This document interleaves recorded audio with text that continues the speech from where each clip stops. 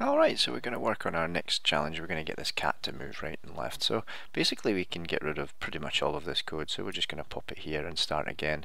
Now there's a, a bunch of code that you've been asked to create. So it's, it is a when clicked. Um, but this time what it is is a, a forever loop. Um, and inside that forever loop is some if statements. So I'm going to put in two of my if statements right here. So um, we're going to go into this forever loop and then we're going to do if something do something and then another if something do something underneath it.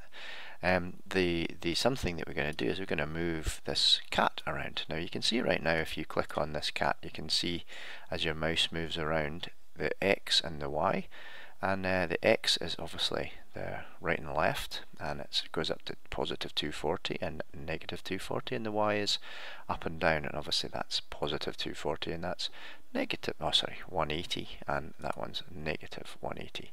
Um, so we want it to move right and left, we're going to have to change its X position.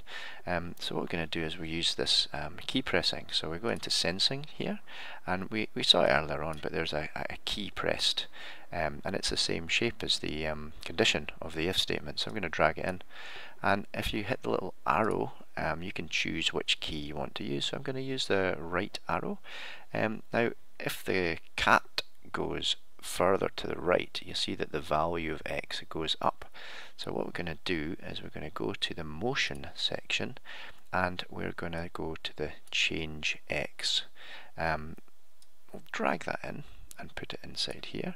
And if we change x by 10 that will change the x position up by 10 um, now I can test this without even completing the code. I can test it. So I'm going to hit the arrow and I'm going to press the right arrow and see what happens and it, I can see quite clearly that it goes to the right.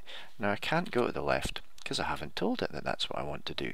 So I'm going to hit stop drag my cat back to the middle and then fill out the rest of this. So remember we find sensing for key presses change it to the key you want, so this time the left arrow, and we need a change X block inside of motion. So we go here, change X. Now, if I change the left arrow by 10 again, um, even though I'm pressing the left arrow, it doesn't matter. It's always going to be doing what it's told because computers are stupid. Um, they're just going to take this X and add on 10.